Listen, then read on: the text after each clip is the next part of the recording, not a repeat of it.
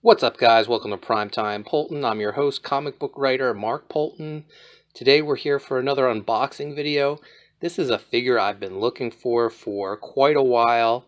It's the Masters of the WWE Universe Sting figure. Now, when Mattel announced they were doing these um, He-Man mashups with the WWE, I was on board instantly because they announced my man, the Icon Sting, as part of the line. And uh, in case you can't tell, I'm a bit of a Sting collector. I love the guy. He's just so cool, so toyetic. My wife the other day was saying, Oh, great, another Sting figure. Don't you have enough? And I said, No, I don't have them all yet. So definitely had to pick this one up when I saw it at Walmart the other day. Uh, I'm going to unbox it. Uh, and we'll uh, we'll videotape the unboxing and I'll go through all the pieces and uh, let's uh, let's check it out, guys. All right, guys. First things first. Uh, let's just check out the packaging. Uh, Sting. He's listed as the mysterious vigilante of vengeance. I kind of hate this whole uh, vigilante uh, term they gave him. I mean, he's the icon Sting, the man called Sting. You know. Um, the the whole vigilante aspect of introducing him into the WWE was kind of a miss for me, but um, I don't know, still an awesome figure, and I'm glad we have him in the line. Uh, highly articulated for power posing. So we'll flip it over. I really like this artwork. Um, looks like it could be in a comic book. In fact, um, it comes with a collector's booklet, so we'll have to flip through that. And uh, let's see what it says. It says, The Dark Warrior with a voice of silence and a mission of justice strikes fear into the black heart of the evil force that created him. But whose side is he on? Then we get some, uh, a look at his little action that he does. The other wrestlers in the line Triple H, King of Kings, Triple H, Ultimate Warrior, Finn Balor. These are all good choices, man. They're they're cool characters really toyetic. That Triple H is like the perfect, you know, Skeletor of this line. But um, enough talking. Let's open this guy up.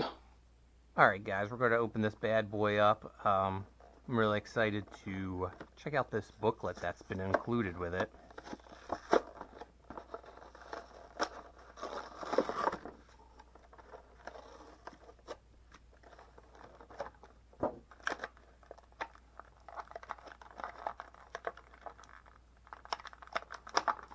When they first announced this line, uh, my initial thoughts were that these guys really look like the old AWA Remco figures. And uh, I have a, a, little bit of a collection of them. Um, at one point, I had them all, and I had the ring. Well, I had the first series. I didn't have like the Mat Maniacs ones. But um, I sold them all. Uh, really regret it. But uh, I bought most of them back. Still haven't gotten the ring yet, though. Um, but this figure is really cool. I love the look of him. Reminds me of those Remco figures. Really good detailing on it. This is really cool. Um, he comes with a claw and uh, I guess a scorpion stinger staff.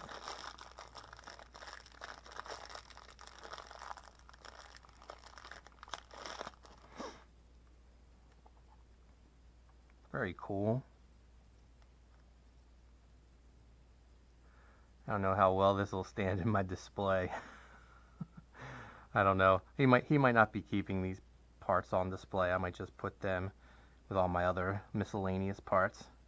He doesn't really hold that too well. Yeah, the other hand's just a fist. So, let's check out this book. Really like the artwork on here. I would read this comic book. Sting, the mysterious vigilante of vengeance, can blend into the shadows, ability to drop into battle from any distance, foreign objects, scorpion claw, and stinger chucks. It's got a little mini story and then an advertisement for the rest of the line. So it also came with this little book. I'm going to read the story for you. Sting explores the dangerous mountain caves. I must find the secret to the Skull King's lair. When suddenly, hiss, a giant scorpion, one of Triple H's beasts, no doubt. You're no match for my Stinger Splash. Our hero triumphs in his battle.